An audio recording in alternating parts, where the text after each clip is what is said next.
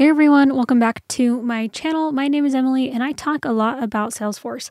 Today I'm going to be showing you how to update a record based upon your Salesforce survey. There are a few things that you do need to have enabled before we can go ahead and update a record. You need to have surveys enabled, of course, in your Salesforce instance, which is just going to be go to the quick find in setup and then search for surveys and toggle it on. Two, you do need to have the feedback management license, which is an additional license from Salesforce in order to create the appropriate data mappings that you need for this type of update. And then finally, you do need to have a specific permission. I'm got this pulled up. Um, you need to have these Salesforce surveys advanced features assigned to you or to whomever's creating this Salesforce survey in order to use these advanced features. In order to have those advanced features permission set, you'll need to have that license. All right, let's go ahead and jump into our first survey. All right, gonna go to surveys.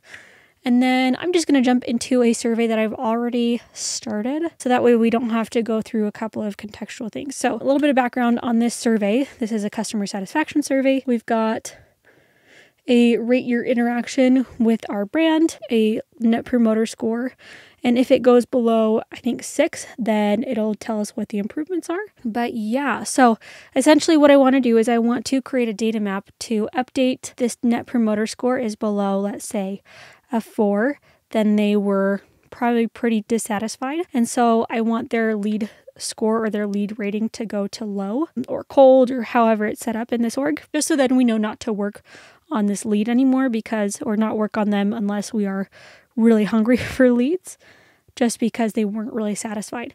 So let's go ahead and go into survey data mapping and create a new map. I'm gonna have this be update lead rating and have an updated record. We're gonna select lead as the target object. Okay, and so I think this is a little bit backwards. It's gonna have you next do the data mapping and then do the condition but I think it should be switched, and I think it was switched at one point. But I'm going to do this based upon conditions. I want to have this be a response to a question. Rating is, let's do less than or equal to a 4. Then we're going to have the lead score go. So condition has been made. Let's go ahead and map this to the rating. And then it is going to be a pick list and then I'm going to bring it down to gold.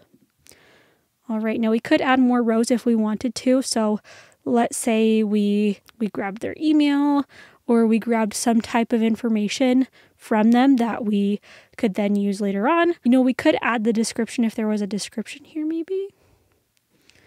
Let's see. Yes, there is a description. So I'm going to have this be a response to a question. And so I do have a another question on the survey that if it's below a certain score, then please tell us why that you had such a bad experience. So I'm going to have that be the description as well. So if I guess the conditions are met of a response score of less than 4 with our company, then we're going to update the rating of that person's lead to cold and then also update it to have the response of why was your rating so low essentially put in the description field of that lead. We could add more rows here to map more to the lead and as to why they are going cold or any updated information.